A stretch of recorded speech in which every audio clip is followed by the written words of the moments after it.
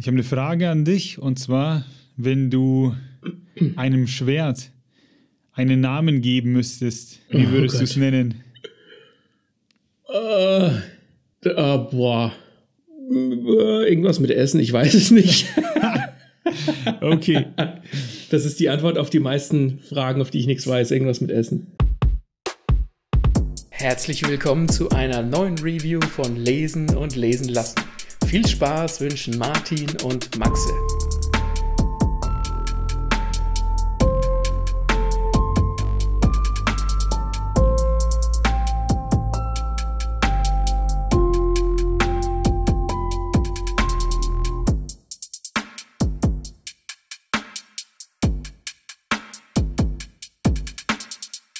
wir haben heute für euch Redwall dabei, der Sturm auf die Abtei, ein Buch, über das wir sprechen müssen. Wir müssen darüber sprechen, weil es so geil ist. Das ist der erste Teil des Redwall-Zyklus, erschienen im Jahr 1998 von Brian Jacques. Ich hoffe, der Name ist so richtig ausgesprochen. Ähm, 1998, da war ich sieben, Maxe. Wie alt warst du da? Äh, neun. Neun. Cool.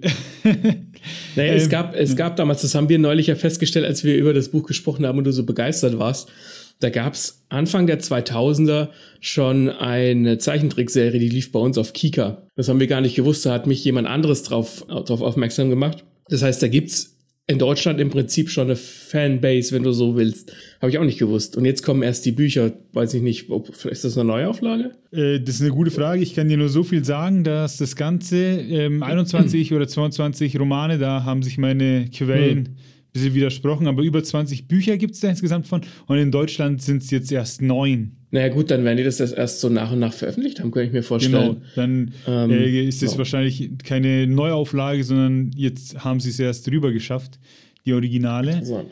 Ja, äh, das fand ich auch cool, dass du mir den Link geschickt hast äh, von YouTube mit hier Redwall, dass es da einen Zeichentrick gibt. Ich frage mich, ob der so brutal ist wie das Buch stellenweise. Aber dazu komme ich jetzt dann noch. Ähm, es handelt sich hier um Kinder- und Fantasieromane. Der Autor, der selbst, der hatte schon eine ziemlich geile Vita, denn der hat wohl mit 15 die Schule abgebrochen und ging dann als Matrose zur See. Und Ja. als er dann zurückkam, ähm, in Liverpool ist er, glaube ich, sogar geboren, wenn ich äh, das richtig gelesen habe. Der war dann sogar haben. Na, Mehr, de- glaube ich. eben, ähm, vielleicht hat er ja auch noch die Beatles gekannt, keine Ahnung, weil die sind ja auch von da, wenn ich mich nicht irre, ja. Äh, der hat als Dockarbeiter gearbeitet, als Fernfahrer, als Boxer, Polizist und Animateur.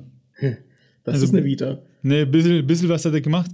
Und was ich auch witzig fand, in seinen Büchern, in diesem Redwall-Zyklus, verwendet er auch nur Tiere, die auf der, englische, äh, die auf der englischen Insel vorkommen. Mhm. So viel nebenbei. Äh, wenn ich das Buch jetzt so in die Hand nehme, das ist vom Kroku Verlag. Ich finde das Cover schön. Da ist eine Maus mit einem Schwert und einem Schild, das eine andere ähm, Maus oder eigentlich Ratze angreift, ähm, die ein bisschen böse aussieht. Das hat sowas Kriegerisches. Die Farben finde ich cool, die sehen auch so ein bisschen wie mit Bleistift gemalt. Und das war auch der Grund, warum ich mich für dieses Buch interessiert habe. Ich habe gesehen, dass das bei Kroku rauskommt. Und ich dachte irgendwie, ah, witzig, wie schön ist das denn? So Mäuse in einem Königreich, die dann irgendwie sich verteidigen müssen. Das hat irgendwie, ja, Ja. hat, hat so einen kindlichen Charme irgendwie. Und ich bereue nichts. Das ist der Wahnsinn. Das sind wie viele Seiten? Ja, knapp 500 Seiten. Wenn nicht sogar Das ist mehr. relativ, ist das relativ groß geschrieben, weil es ja wahrscheinlich auch für Kinder oder Jugendliche gedacht ist. Ja, die Schrift ist schon groß. Also, das ist, sage ich mal, schon so kindgerecht verpackt. Aber was passiert da drin? Jetzt pass auf. Wir befinden uns im Moosblumenwald in der Abtei Redwall. Wird gefeiert. Das Leben ist schön, ne? Die Abtei, das ist so, ich habe mir das so ein bisschen burgähnlich vorgestellt. Die hat Türme und eben hohe Mauer, innen den Hof und auch so große Säle, wo sie halt essen oder sich beraten und so weiter. Und beschrieben wird die Abtei als friedlich und genießt auch so hohes Ansehen bei allen Tieren, dass die Tiere, die in der Abtei leben und unterwegs sind, auf Reisen sich niemals eigentlich fürchten müssen, denn es ist ein unausgesprochenes Gesetz, dass jedes Tier, das eben in der Redwall-Kutte da draußen rumläuft, das muss in Frieden gelassen werden, weil sogar die schlimmsten Tiere wenn es darauf ankommt, in Redwall Zuflucht finden und dort halt gehegt und gepflegt werden. Aha. Ein Ort voller Liebe, an den nichts rankommen soll und nichts rankommt. Und also das ist dann quasi wie so eine Art, wie soll ich sagen, so eine neutrale Enklave, wo quasi jeder Zuflucht findet. Ja, genau, genau. Hm. Aber plötzlich, während alle Party machen etc., taucht einer auf. Und zwar die schlimmste Ratte ever, kommt aus der Versenkung. Klani, die Geisel. Und ein Bösewicht, das sage ich dir, der ist so gut eingeführt, dass ich selbst keine Lust darauf hätte, äh, den zu treffen. Der ist einfach so badass von Minute 1 an, das glaubst du gar nicht. Ich, ich habe mir was vorbereitet, muss ich kurz was vorlesen. Wo haben wir es? Also da, ne, die, die Seite beginnt damit, dass Klani eben mit seinen Leuten unterwegs ist. Äh, ich lese einfach mal ab da. Das Pferd galoppierte ohne Kutscher mit weit aufgerissenen Augen und dem entsetzlichen Rattengeruch in den Nüstern die Straße entlang. Klani interessierte es nicht, wohin der Heuwagen ihn brachte. Das in Panik geratene Pferd galoppierte geradeaus vorbei an einem Meilenstein, dessen eingemeißelten Worten es keine Beachtung schenkte. Rotwallabtei, 15 Meilen. Klani spuckte vom Wagenrand zwei junge Kaninchen an, die auf einem Feld spielten. Leckere kleine Dinger. Schade, dass der Wagen noch nicht angehalten hatte, dachte er. Die warme Sonne schien auf Klani, die Geisel, herab.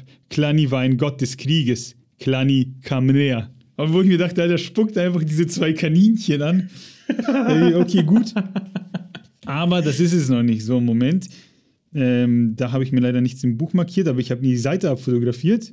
Genau, hier auch eine Szene, wo sie innerhalb der, Abtei, de, innerhalb der Abtei von Kleini sprechen. Das konnte doch nicht sein. Er war nur eine Legende, eine Drohung, die Mütter benutzten, um ihren ungehorsamen oder aufsässigen Kinder zu erschrecken. Geh ins Bett, sonst holt dich Klani. Ist dein Teller leer, sonst kommt Klani. Komm sofort her, sonst sage ich es Klani. Die meisten Tiere wussten nicht einmal, was Klani war.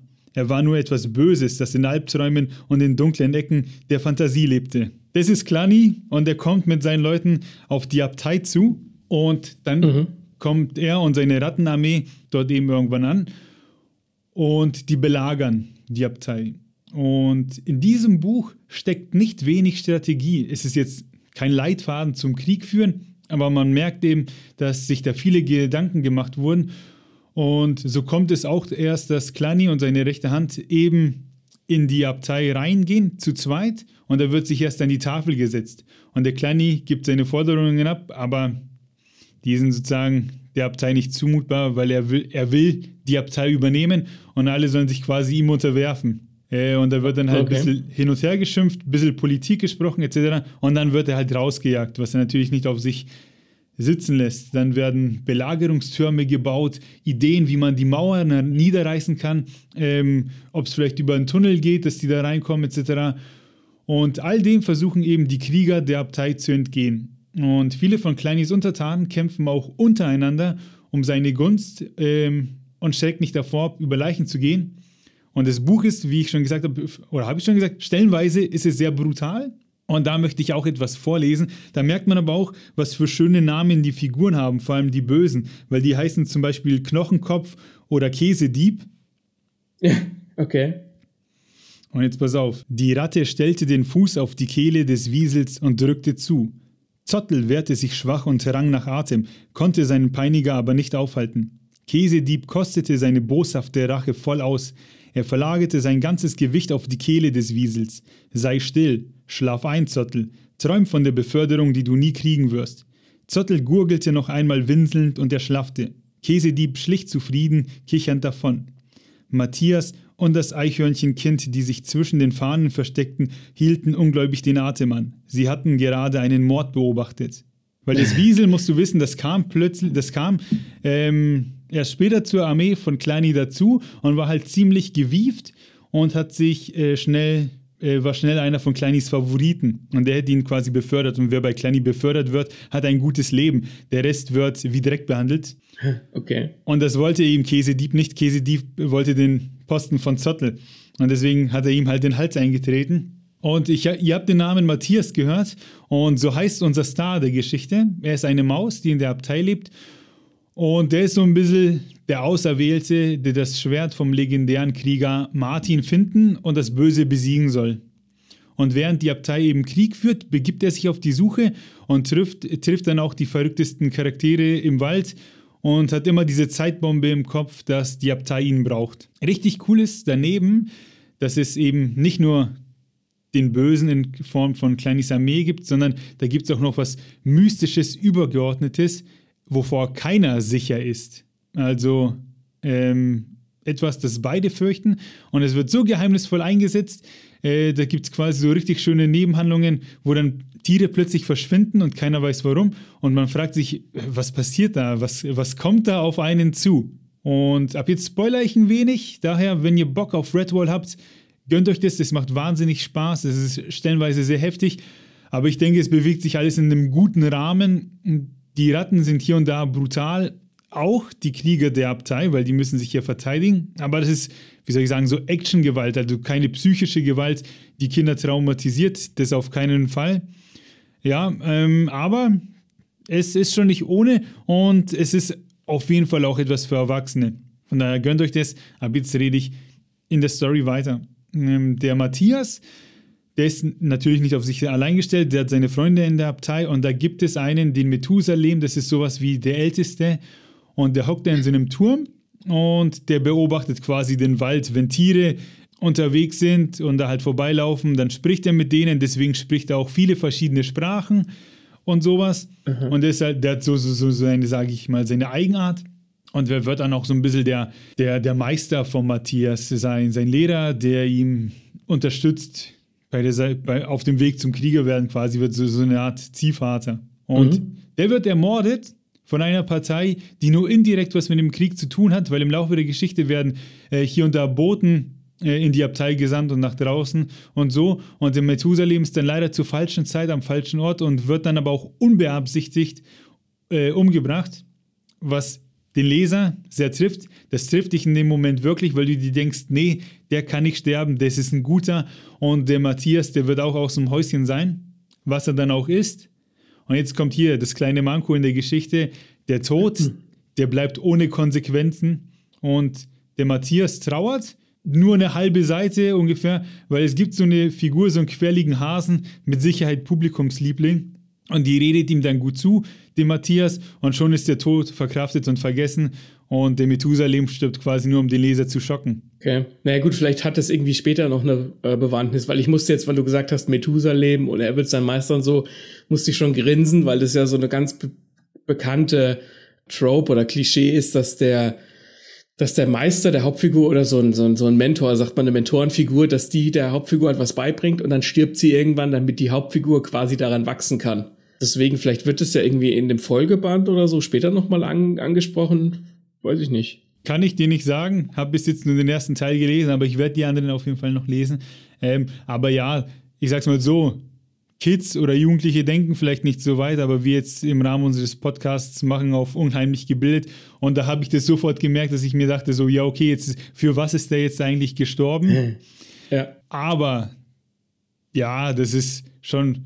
Also, wenn man was Schlechtes suchen muss, dann findet man das. Ansonsten findest du an diesem Buch nichts Schlechtes. Ich fand das ultra gut. Das ist ein wirklich cooles Schauspiel, was da passiert. Es gibt sau viele unterschiedliche Tiere. So eine starke Dachskriegerin, die alle bösen Tiere hassen, weil die gegen die nicht ankommen. Dann gibt es Raben, die eine eigene Sprache sprechen. Es gibt Schlangen, es gibt Wiesel und eben vieles, vieles mehr. Und das alles wird da eben mhm. so zusammengebracht. Und ich habe dich ja ganz am Anfang gefragt, wie du dein Schwert nennen würdest. Und das Schwert. Und, ja? Matthias nennt es Käsespieß. Nee, das Schwert hat den Namen Rattentod. Ja, und, ja, okay. Und ich okay. lieb's voll, wenn so Waffen irgendwie so einen Namen haben. Äh, und das heißt dann eben Rattentod. Und dann hat er Schild und Schwert vom legendären Krieger Martin. Und dann kommt sie auch zum, zum Einzelkampf zwischen ihm und Klani, äh, der dann auch üble Tricks anwendet. So viel sei verraten. Ja, zum Schluss gewinnt dann die Abtei und alles wird gut.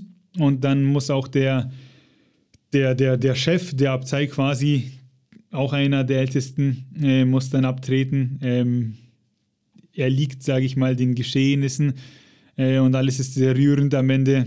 Aber die Abtei gewinnt dann, kann sich verteidigen und was da halt passiert, das ist richtig cool. Man hat da so ein, ja, wie soll ich sagen, so diese Wälder, wie das alles beschrieben wird. Man ist dann in dieser kleinen Welt mit diesen Tieren, wo man eben wie ich auf den ersten Blick denkt, das wird, das wird was Süßes, aber dann ist das ultra spannend. Ich habe das richtig eingeatmet, das Buch.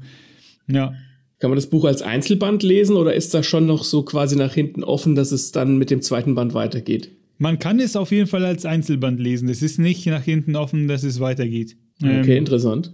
Genau. Also wenn ihr euren Kids was vorlesen wollt, was Spannendes, was Cooles, mal was anderes, wenn es nicht wieder der Harry Potter sein muss, dann Redwall, Sturm auf die Abtei. Ich weiß auch gar nicht mehr, was ich dazu sagen soll, außer dass ich es halt übelst rausfeier.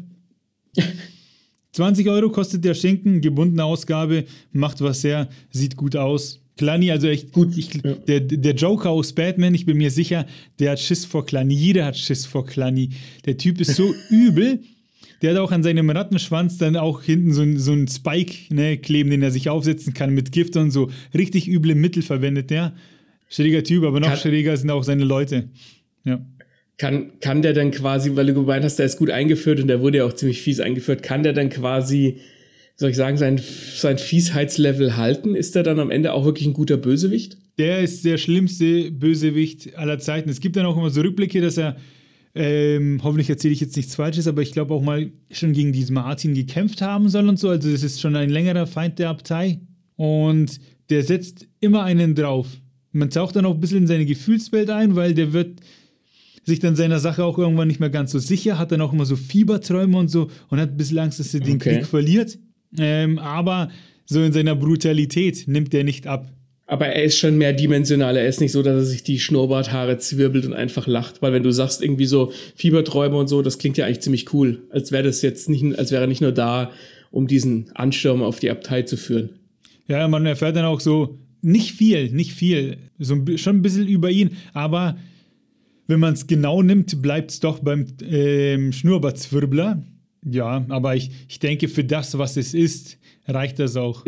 Ja ja, es, es gibt ja auch, keine Ahnung, gute Bösewichte, die müssen gar nicht viel mehr sein als einfach nur eine Gefahr. Keine Ahnung, T1000, Terminator 2 oder sowas. Solange die irgendwie gefährlich sind und du dir die Arschbacken zusammenknallst, wenn, wenn die Figur auftaucht oder der Bösewicht, das ist dann schon ausreichend. Und ich denke, was ich euch jetzt erzählt habe, das ist ausreichend, um einen guten Eindruck zu gewinnen über das Buch. Von daher schaut es euch an. Schaut euch vielleicht auch einfach die Serie auf Kika an, wenn es Kika noch gibt. Äh, ich glaube schon, aber die Frage ist, die Frage ja. ist halt, ob es Kika, ob es die Serie auf Kika noch gibt. Aber oder ich, ich werde das recherchieren und werde es in die Shownotes packen, weil vielleicht gibt es ja auf, keine Ahnung, DVD oder so. Möglich. Vielleicht, oder, keine Ahnung, hoffentlich hat die Serie das Buch so gut getroffen, wie es ist. Ähm, wenn ihr es kennt, dann haut es uns in die Kommentare. Ähm, in die Kommentarspalte, die ihr findet auf YouTube, auf Podigy, auf Instagram, auf Facebook, wo ihr uns findet. Wenn ihr wie, oder, ha, oder schreibt uns in die Kommentare, wie ihr euer Schwert nennen würdet. Das würde mich auch interessieren. Ansonsten haut uns Likes überall raus. Wir können bei Spotify freuen wir uns über die Sterne und wir freuen uns, wenn ihr auch bei der nächsten Rezi dabei seid. Macht's gut. Bis dann.